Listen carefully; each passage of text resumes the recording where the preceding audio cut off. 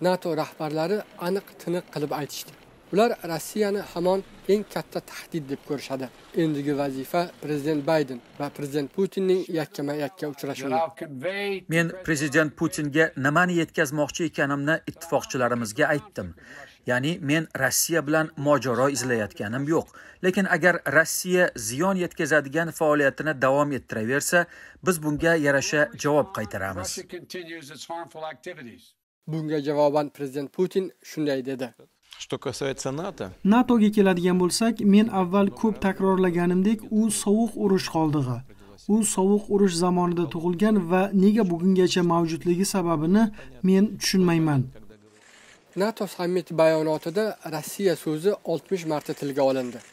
Xitoy esa 10 martacha rossiyaga tahdid deb xitoyga esa mushkullik deb ta'rif berildi. Mushkullikka qarshi ishlab uni hal qilish mumkin. Tahdidga esa qarshi turish talab qilinadi.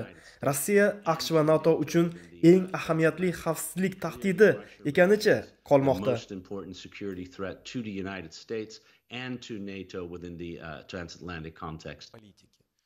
bayden bilan uchrashuvi oldidan prezident putin oxirgi 3 yilda ilk bor amerika kanaliga intervyu berdi va u ochiq gapirdi. У нас э, отношения двусторонние деградировали. oxirgi yillarda o'zaro munosabatlarimiz yomonlashdi va eng quyi nuqtasiga tushdi.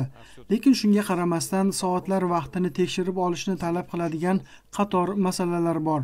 Yondashuvi haqida so'ralganda prezident bayden ko'p ham ko'nglini yorgani yo'q siz qalbi yo'q deb atagan sobiq kgb agenti bilan uchrashuvdan oldin nimalarni o'ylayapsiz? Tugaganidan keyin men sizga aytaman. Men bu ish bilan uzoq vaqtdan beri shug'ullanaman. Yana bir raqibi yoki ehtimoliy raqibi bilan jiddiy uchrashuvga borayotgan odamning jahon matbuoti oldida qiladigan eng oxirgi ishi bu muzokara qilish. Men ham qiladigan ishim shu. It's the last thing I'm going to do.